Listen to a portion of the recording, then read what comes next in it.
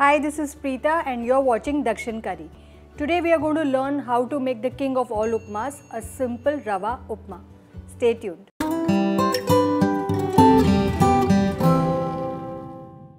Let's quickly take a screenshot of the ingredients needed to make this recipe so that whenever you're in the mood to make it, the list is right in front of you.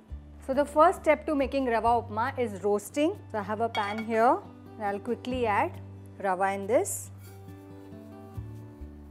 And we are going to dry roast this on a medium flame till it changes a little bit color and also becomes more free flowing.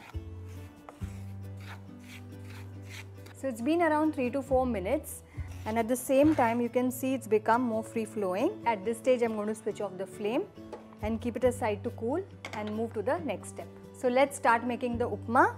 I'm using sesame seed oil and along with this I'm also going to add a little bit ghee. Now in this we'll add mustard seeds and we'll allow it to crackle. So the mustard seeds are starting to crackle. At this stage I'm going to add chana dal We'll brown this a little.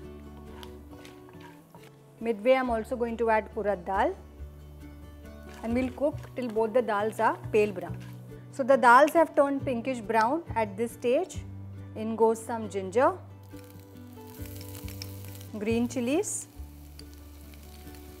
some coriander stem and now curry leaves. And along with that finely chopped onions. And now we are going to cook this. Now while doing this, you can also add a little bit of hing dissolved in water. I am going to add it in two stages, one now and one later.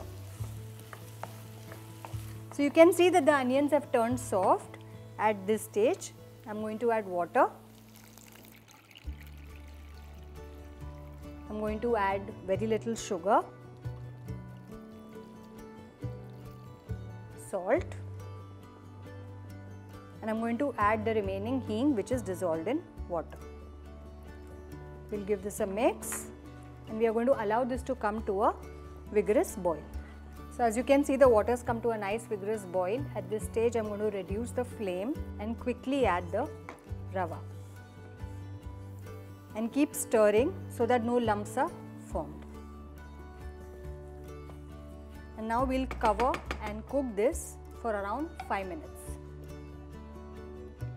So it's been around 5 to 7 minutes cooking on a low flame and it looks ready. And I'm going to add two additional ingredients to this. A little bit more ghee and some coriander leaves. Give this a quick mix. and that's about it. The rava upma is ready to serve. It's a super simple recipe and very quick to make. I want you to make this recipe and get back to me with your feedback. If you have liked watching this video, do click on the like, share and subscribe button.